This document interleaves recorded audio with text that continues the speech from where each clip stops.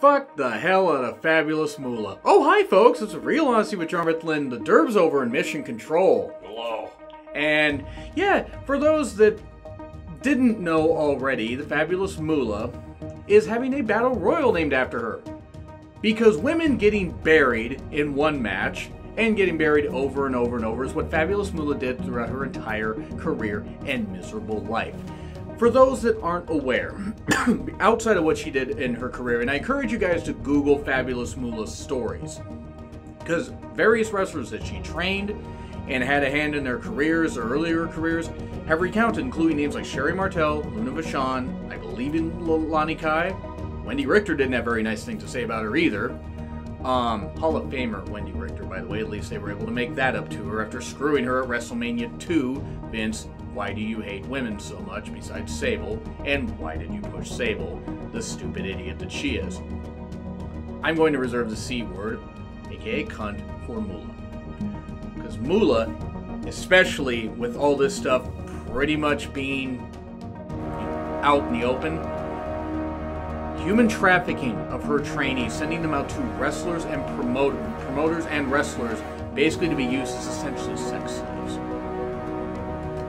And, you know, keeping a lot of money from them, holding them back if women ever got too big. Moolah, the fragile ego bitch that she was, held them down. Moolah, who, by the way, I mean, yes, a lot of offense for Moolah wasn't necessarily that good. There were certain wrestlers, and quite a few wrestlers, in the from the 30s to all the way to the 80s and 90s, and even now that have their own set routine. And I'm not talking about women, I'm talking just women, I'm talking about men too. But Moolah was always jealous, and you could tell, of the fame and the, you know, the star that was Mildred Burke. Who I'm not saying was necessarily a perfect person either. You could read story you could read stories about a lot of people, and they're not perfect people. Mae Young, you know, Fabulous Moolah's friend wasn't exactly the best person either. She was more willing to get back to the business than Mula ever was. Again, I'm not, you know, taking any, I'm not, you know, trying to sweep any of Mae Young's stuff under the rug. Again, you can Google that stuff because it would take an hour to cover all these stories. And I don't want to fail to do justice to those. But Fabulous Moolah screwing over trainees. The way that some of them were sent out before they were 18, that would be constituted as child endangerment, you, you know, child, child slavery, pedophilia, and stuff like that. You know, engaging in, you know, having a hand in that kind of stuff happening. Whatever the laws were, that's how it would be now. But let's just so all that i encourage you guys to google that stuff but that right there is a reason oh yeah let's pump up the name of the fabulous moolah look vince loved her she did made a lot of money for vince and was one of his um, one of his you know favorite people because he she worked for his dad and women's wrestling mostly in america was used as an attraction at least in WWE. And in part, the reason it was not seen as such a big, monumental pool of talent is pretty much because Fabulous Moolah held everybody back. Because she had a fragile ego.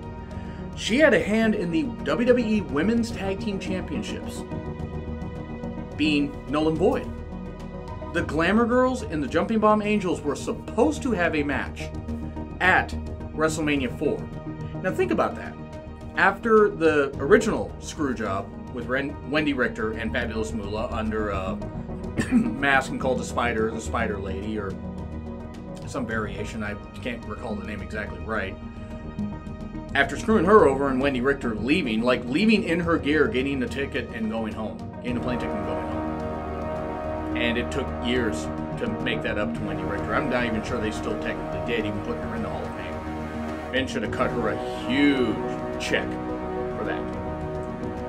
Glamour Girls and Jumping Bomb Angels were supposed to have a match at WrestleMania 4 in Trump Plaza, which four women in Trump Plaza. Well, of course, you know, the now idiotic leader in chief would have had a chance to get all those women. And well, I'm just not going to go into that right now, but it's no wonder that Vince and Trump are such good friends because they like degrading women. Going back to Moolah. Because she decided to screw over both those teams. The way it happened, basically, she said there should be. She said, "Oh, these guys, you know, in the company said there should be a title change. You beat the Jumping Bomb Angels, I believe, in Japan or on some kind of tour. I think they were in Japan, if I recall the article correctly. and because the Jumping Bomb Angels were supposed to keep the tag titles, but the Glamour Girls were like, okay, well, if this happened, they did a title change. Word got back to Pat Patterson and various other people. That match got scrapped. Those women got screwed out of a big payday. All the while, Moolah got to skate away free.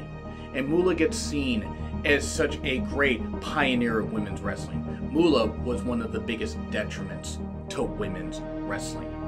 Mildred Burke helped, you know, popularize women's wrestling for the right reasons. And I encourage you guys to read stories on her and see if there are any documentaries out there, because I'm sure there are, and I can't recall the titles right now because I'm just that pissed. So now we go to what WWE did. they on Raw last night. We're recording this right before SmackDown, so it'll probably go up during SmackDown, possibly, or afterwards. WWE is gonna, you know, instead of the Andre the Giant Memorial Battle Royal that they've done for the men, which has done such a great job pushing talent, and it's not Andre's fault. Andre the Giant, for all his for all his faults and for all the issues he had, was beloved by a lot of people, and gave back to the business and did the right thing a lot and was a pretty damn good guy during his short time on this earth, despite being so tall. But they decide for the women, we're going to call it the Fabulous Moolah Memorial Battle Royal. It didn't even take five fucking minutes for Reddit articles and other stuff to come out, and you know, old stuff, old shoot interviews, and I don't remember where people got these from, of wrestlers that had either tra- been trained by Fabulous Moolah or Fabulous Moolah had held back and had a hand in, you know, doing some pretty nasty things, you know, to them and getting nasty things done to them. Moolah had a hand in a lot of bullshit that happened. She was a rotten cunt. And sorry, I hope Moolah's burning in hell for what she did. And by the way, if you guys if, if you guys are fans of Fabulous Moolah, that's fine. Cool. You guys can appreciate her wrestling career all you want, but you need to realize she buried a whole lot of people. Is she the only wrestler to bury lots of people? No. I'm just going to mention Hulk Hogan for no fucking reason. Pretty big bitch himself. And hates black people because he's a bitch. And an idiotic racist. He should be allowed to be back on top. Fabulous Moolah Memorial Battle Royal. This is going to be one of the only times I advocate for Chyna because I was never a big fan of Chyna. I didn't like her work. Didn't I, I just didn't. I'm not going to factor Chyna doing the porn, but the fact that they they give that as a reason. Triple H and others have given that for a reason. Oh, they can Google that stuff and see the porn. Okay, one, I've never seen any of it and I don't want to.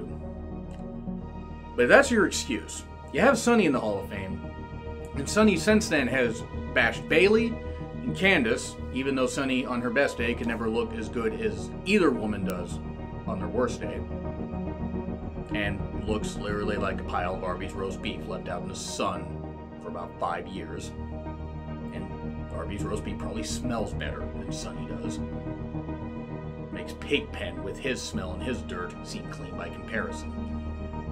Sunny does all the stuff she does, still does Skype calls, all that stuff, is spoken out against company, keeps getting in trouble because she's an idiot. Addiction or not, she's an idiot for doing what she did, even though they put her through rehab multiple times. But Chyna, you could have named this after Chyna as a way to maybe bridge the gap and put her in the Hall of Fame next year. And I'm not even that big of a fan of Chyna, but at this point, if you're going to honor Moolah after all the stuff she's done, whether you're a fan of Chyna or not, she didn't do that. She didn't do this stuff. Memorial, honor Miss Elizabeth. Even though Miss Elizabeth family said she doesn't really, they don't really want anything to do with wrestling. Sherri Martel. Um, I don't want to say Luna Vachon necessarily because I don't know if they would do that for her. I don't know if that many people would remember the name. But Luna Vachon, various other women have passed away. If you want to do it as a way to honor current alive women, Trish Stratus, Wendy Richter, Lani Kai, Alundra Blaze, Lita, you know, women that are alive again. But there are other women that have passed on you could use this name for, and the fact that it's Fabulous Moolah, that's what you did, you're going to get a ton of backlash. Will people still watch the program? Yes, I will be watching it here in a bit. But WWE has shown that they really don't care. Oh, hey, I guess the winner or all the women, you know, and including the winner, will get pimped out. That's going to be the grand prize winner. It's what Fabulous Moolah would have wanted. Fabulous Moolah was a was an evil individual. I believe Jamie Savile, Saville, he's somebody that they they've compared him to, or they compared her to. and judging by what I've read about him, yeah, that sounds about right. So fabulous Moolah. I hope she burns is buried in hell for what she did. She was not good for women's wrestling. She held back a lot of women, pretty much every woman she trained. Human trafficking, child endangerment, child slavery. What else would you like to say about Moolah as a reason as to why she should be honored? Her legacy should be buried, and she should never be remembered. I'm not going to knock any of the women, except Stephanie McMahon, because I'm not going to knock any of the female wrestlers that tweeted about Fabulous Moolah. They may not know. But I'm going to knock WWE for this. This is a bad look. And then, what's next? The Jimmy Snuka Intergender Battle Royal? Benoit winning Father of the Year? The Phoenix Battle Royale is a much better idea. I like that. Phoenix Rises. I like that idea. This is my thing, guys. It's just ridiculous. It's not a good look. Other wrestling companies have done plenty of revisionist history and plenty of stuff where they've forgotten things about certain wrestlers. Oh yeah, the Warrior Award. They're honoring the Ultimate Warrior in New Orleans when he knocked the Hurricane Katrina victims, and somebody should have beaten his ass just for that. And look that stuff up, by the way. He hated gays. He hated everybody. He hated a ton of people, except he hated, he didn't hate roids. Roid abusing pile of shit and his wife. Sure, take your vitamin S, brother. It sounded like you were mixing Warrior, Savage, and Hogan. Right there. Yes. That was great stuff. Bottom line is, and the Warrior Award. The Warrior Award's bullshit, not for honoring people that are sick. I'm grateful that people can beat diseases, and that's great. It should honor the backstage people and stuff like that, and this is just a little brief thing at the end. But they pick and choose who they want to honor. They honor Jimmy Snuka, who murdered his, who murdered someone named Nancy, yet they got rid of Benoit, who also murdered someone named Nancy. And I'm not saying they should advocate. I'm not advocating Benoit should go in the Hall of Fame or he should be remembered. But Snuka shouldn't have been remembered in a positive light either. WWE picks and chooses their stuff. This is the frustrating thing about the company. And maybe, maybe when Vince Mc- and I'm just going to quote a line, but you know, CM Punk says, "I would like to think this company would be better off when Vince McMahon is dead." But it's just going to get taken over by his idiot daughter and his doofus son-in-law and the rest of his stupid family. And yeah, I'm going to quote CM Punk. So that's all I got to say about that. Fabulous Moolah was not good for women's wrestling at all. So what do you guys think? Agree, disagree? What do you think of the fact? Who would you pick to honor the women of, you know, the current women? Somebody from the past. The literally anyone else battle royale. Love it. Love the idea. Eventually, some can't someone else do it? So I'm someone else. Anyway, who would you guys pick? Let me know in the comments. Like, share, subscribe. Also, there should be some thumbnails somewhere, or there should be some thumbnails, or a thumbnail from that guy. Mission controlled by the Derb over there. That's all, folks. And I will see you later.